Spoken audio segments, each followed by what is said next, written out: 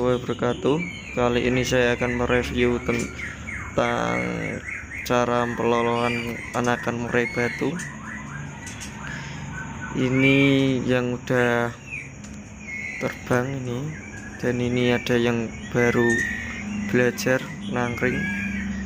Ini umur tujuh hari ini Dan ini juga baru terbang.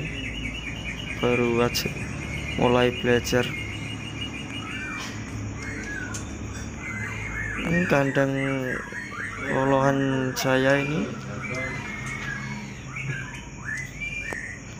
Itu udah ada.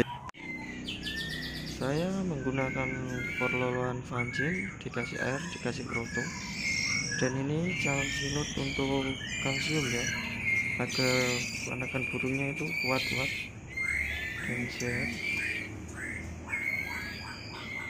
Ini kandang saya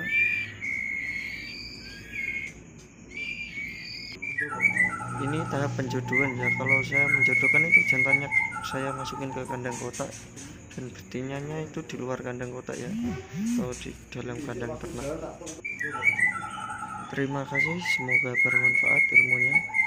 Dan jangan lupa di subscribe ya karena subscribe itu gratis. Oke. okay.